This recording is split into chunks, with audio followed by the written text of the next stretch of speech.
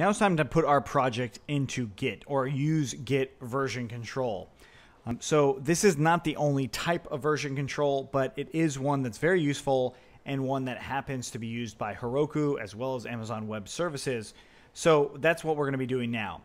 And if we look at that deploying Python and Django uh, article that we've already been going through, um, it is already saying stuff about Git.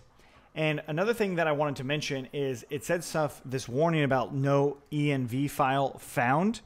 Well, Heroku Local allows you, so if you look at the article of Heroku Local, allows you to now put in two environment variables that you can actually use locally. It's not something I'm going to do because I'm I don't need to do it because we've already done all the things that we need. Um, you definitely don't want to put your live values in here. There's a different way to do that, and it shows you how to do it specifically um, in here, just like this. All right, so what I'm going to do now is I'm going to jump back into the actual deployment guide, and we see that says how to keep build artifacts out of Git. So the first thing, before I even start my Git project, I'm going to add these this git ignore file. So opening up Sublime Text, I'm going to go into the root of my Django project where we're going to be deploying from, and I'm going to make a new file in there. So in src, it's just dot git ignore. We say enter, and yes, we want to do it exactly like that. So dot git ignore is the file that we want to call it. And then I'm just going to copy everything in here and paste this in. So this is not necessarily the best git ignore file. Um, so we can actually get a better git ignore file. So Python git ignore file. And GitHub actually has one that's a little bit better for us. So I can just come in here in raw, copy all of this and paste it in here. Um, so that allows us to just have a very more comprehensive uh, git ignore file than the one that Heroku lists. Um, it does have a lot of the same sort of stuff, but in our case, it's definitely there, as well as that .env file. Heroku tells you definitely not put that in there. Okay, so now we've got this git ignore, and I'm going to go ahead and close out my Heroku local with Control C, and I'm going to clear everything out, list it all out, and we see that we have everything here. If I do ls.all, um, I do see everything that's inside of this actual folder. It has a few different things that you might have not seen with just ls. If you're on Windows, you probably see all of them. But I've got git ignore and ds store. So I'm going to go ahead and create my GitHub repository or my Git repository by doing git init and press enter. Notice it says initialize empty Git repository inside of here, inside of the SRC folder. If I do ls-al for all, I now see that there's a .git folder here. If for whatever reason I needed to remove that and start fresh, I just do rm-rf.git. And now I do git status, it goes away. So I do git init again, and then git status, now I have all the things that I need to add. .ds store is something that we want to add to our GitHub uh, or git ignore. I'm going to put this at the very top and save that in there. Now we do git status and it goes away, which is good. Okay, so I've got everything for my project, except I'm not quite ready to actually add this into my project because of our settings file. So this is the main thing that we actually want to update. Our settings file right here works really well for our local environment. It does not work really well for our production environment. And when it comes to launching things and testing things, it's nice to separate our settings file from a local environment and a production environment. And that's actually what I'm going to be doing here.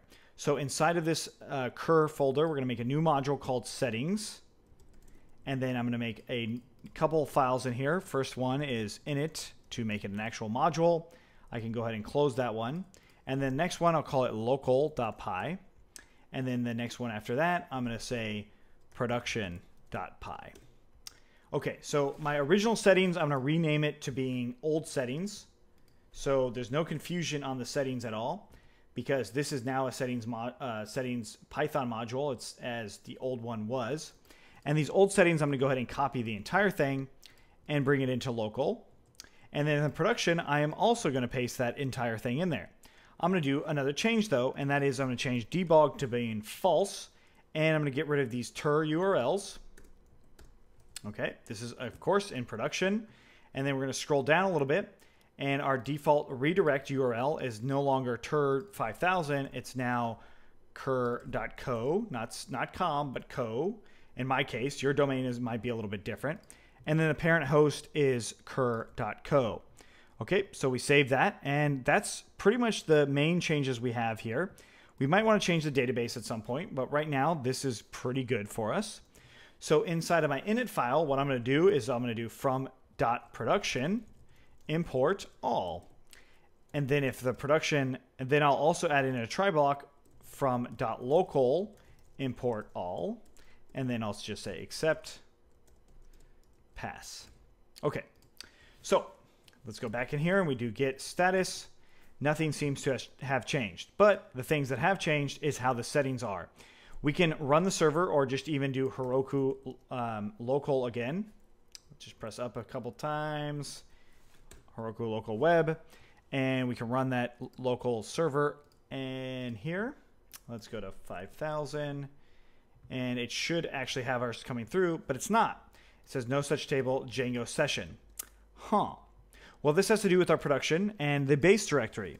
We changed where these files live, meaning they're in a new module. They're inside of a new module instead of being where the old settings were. So we actually have to add something to this base directory. So we paste that in here, paste that there, and I'm going to go ahead and copy that same thing and put it into local and paste that same thing there. We save it, and that should that should fix our little error. We refresh, error goes away. Um, the reason again has to do with where this base directory was. We put it we put these files into a new directory, which mean means that this went off. Just went off a little bit on both production and local. Okay, so we've got this now. Let's go back into our actual project and we see that we can add some stuff. But before I do that, I want to update my git ignore file to ignore that local.py file. That is, the reason why we have this try block here is because we don't want the local file on our production server at all. So this is allowing us to do that. By putting this into a try block, it will allow us to just completely ignore that local file.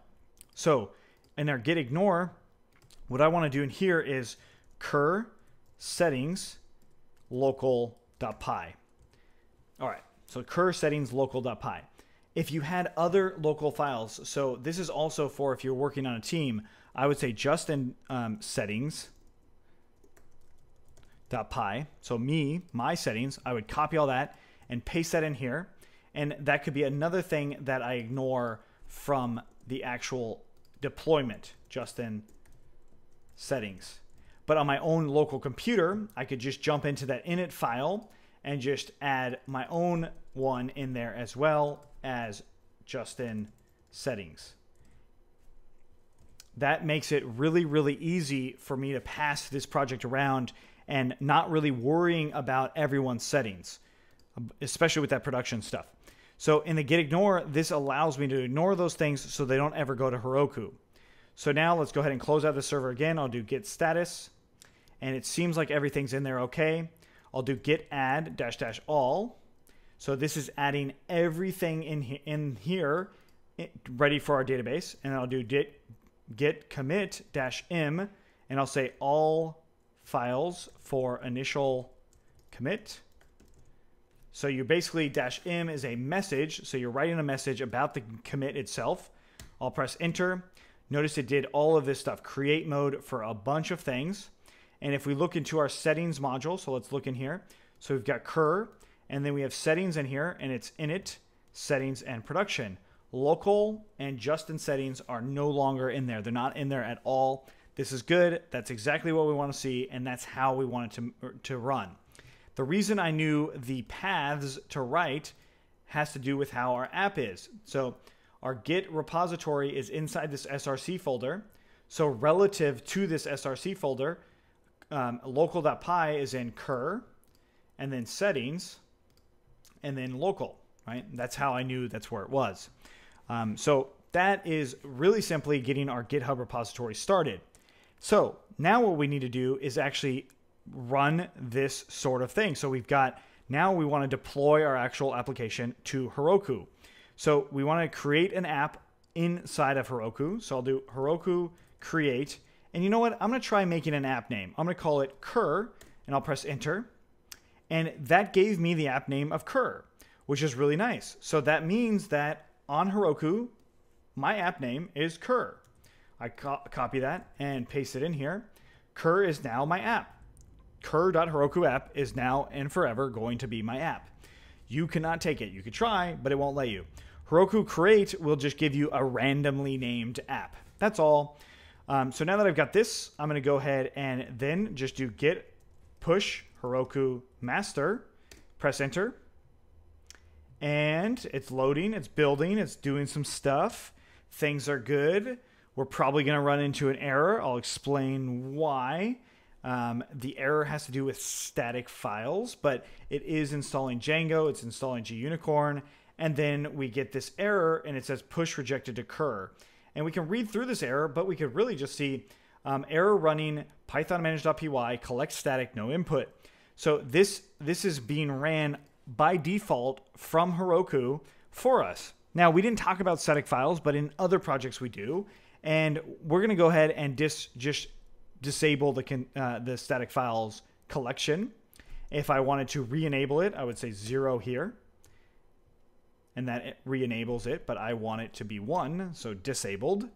Okay, and that also restarts the app. Let's try and push it again. I press enter and it's running, it's running. Python app detected. Good, good, good. So far, so good. It's going to load a second, and then we'll go and check out our app in just a moment.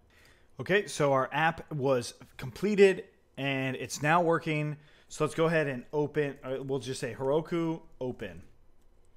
So this is to call and open up our app. We get a bad request. Um, there's probably a few different reasons as to why this is. So let's go ahead and do Heroku run Python. Uh, actually, let's do Heroku run bash. So this gives us into the shell of Heroku so we can take a look at what's going on with our project. Or at least try to. I can list everything out and do python manage.py and let's say run server. Well, the server runs. It doesn't seem like there's any errors.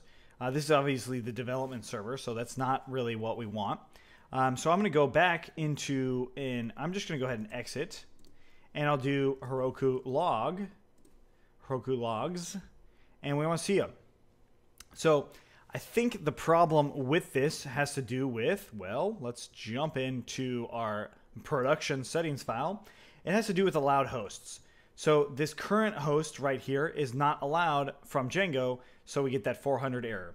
So let's go ahead and add in this current host, which is kirr.herokuapp.com. We'll save that and we'll do git status.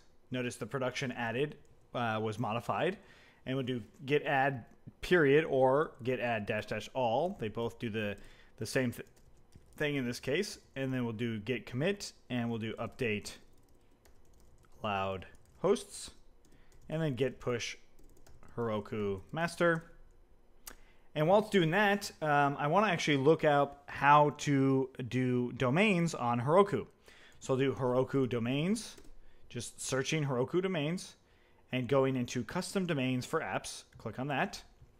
And this is the next video as to what we actually want to have. Um, so we'll actually add in our own custom domain because I have a feeling there's going to be a little bit of a problem with our app. So let's go ahead and do Heroku open again. And we get there. It's loading, loading. Uh, looks good. And then it redirects us to kirr.co. Um, kirr.co has a placeholder, so we're going to have to change this to our actual app. And that's something we'll do in the next one, along with custom domains, as well as our own new database that works off of Heroku instead of SQLite, or like a MySQL database instead of SQLite. Okay, so if you have any questions on what we did here, let us know. Otherwise, let's keep going.